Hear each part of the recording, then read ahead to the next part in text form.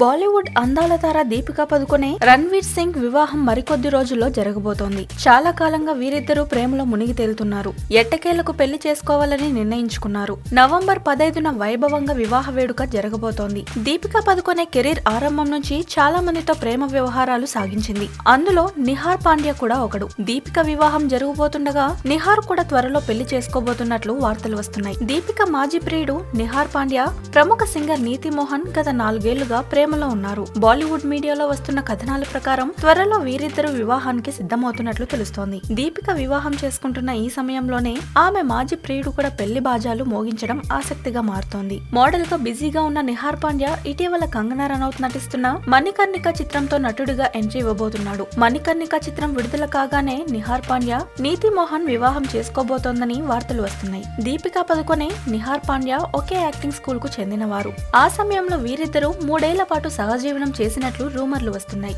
దీపిక హీరోయిన్గా బిజీ అయ్యాక వీరిద్దరూ విడిపోయారు. నిహార్ వివాహం ముంబైలో జరగబోతున్నట్లు తెలుస్తోంది. ఇక దీపిక రణ్వీర్ ఇటలీలోని ఫేమస్ మ్యారేజ్ డెస్టినేషన్ కోమో సరస్సులో జరగబోతున్నట్లు తెలుస్తోంది. ఈ ఏడాది ఇప్పటికే సోనం కపూర్ వివాహం జరిగింది. దీపిక పదుకొని ప్రియాంక వంటి పెద్ద సెలబ్రిటీలు పెళ్ళికి సిద్ధమవుతున్నారు.